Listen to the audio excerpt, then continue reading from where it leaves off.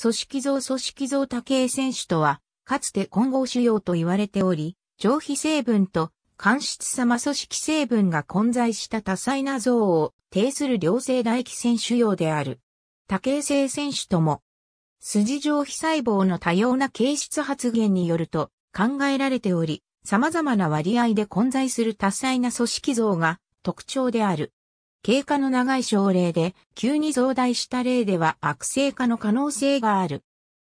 臨床所見は唾液腺腫瘍の中で最も頻度が高い。自家腺に多いが学下腺にも後発する。小唾液腺では高校外が1、2以上を占める。30から40代に後発し、男女比ではやや女性に偏っている。発育は断板である。海洋形成は稀で、周囲との境界も比較的明瞭である。無痛性のため、長年放置されることが多い。腫瘍の存在する部分の主張が主要な症状である。腫瘍の増大に伴い、疼痛や片側の顔面神経麻痺などを生ずる可能性もある。多形選手 HE 染色プリオモーフィックアデノマ、HE シュトンニング多形選手チロシンクリスタルズまれに、腫瘍内部に抗酸性の結晶が観察される。PA に特異性の高い所見である。組織学的には、通常大唾液腺では皮膜を有するが、小唾液腺では皮膜が不明瞭なことがある。基本的には、腺管構造と主要性筋上皮細胞の造成が見られ、後者は粘液腫瘍や軟骨腫瘍の寛容様組織に移行している像が主体である。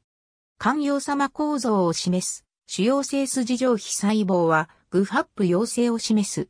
上皮成分では扁平上皮化生を伴うことがある。一部が癌化する多形性腺腫内癌では、癌部分は様々な組織像を呈する。間質成分の悪性化を伴う場合は、癌肉腫の像を呈する。多形腺腫由来癌、 carcinoma ex pleomorphic adenoma、癌成分は、導管癌、サラベリーダクトカルシノーマの形態を示すことが多い。主要的質術が唯一の治療法である。腫瘍を放置すると顔面神経の圧迫による症状が出るほか、悪性転化する恐れがあるため、診断がついたら早めに摘出する必要がある。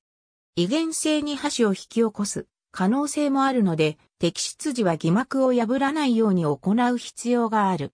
悪性転化を認めなければ予後は良好であり、死にまつむろる例も少ない。